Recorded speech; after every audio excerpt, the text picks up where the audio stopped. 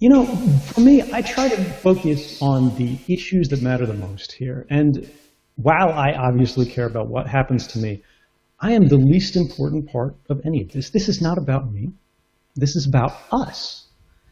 Uh, and when I see these, these changes in government where we see uh, these candidates who are extremely authoritarian, uh, they believe that if we have the power to do something, we should do something. We stop thinking about wrong or right. We stop thinking about should or should not.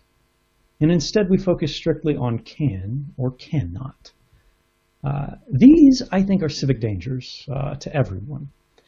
And these are the things that we have to focus the most on resisting, not individual cases, but broad social cases. And this is the thing that I think we begin to forget when we focus too much on a single candidate.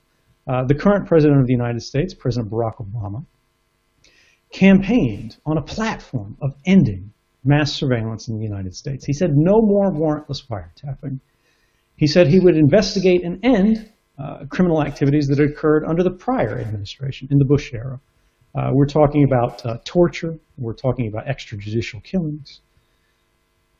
And we all put a lot of hope in him because of this. Uh, not just people in my country, not just myself, uh, but people in Europe and elsewhere around the world. It was a moment where we believed that because the right person got into office, everything would change.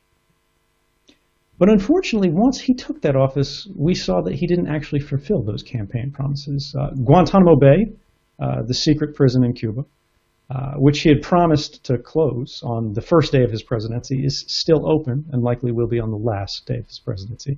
He embraced the policies of mass surveillance, uh, extended them, and entrenched them. And this isn't to criticize this president particularly. This is not to say uh, Obama is what we should be worried about.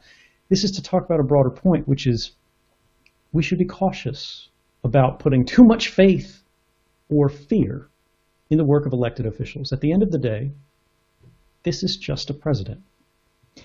If we want to build uh, or live or enjoy the fruits of a better world, if we want to make sure that the rights that we uh, have encoded into our laws are actually reliable, uh, that we live with them and pass them to our children, this will never be the work of politicians.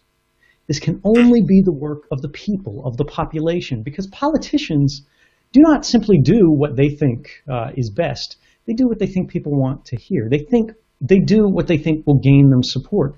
And ultimately, if we want to see a change, we must force it through ourselves. If we want to have a better world, we can't hope for an Obama. And we should not fear a Donald Trump. Rather, we should build it ourselves.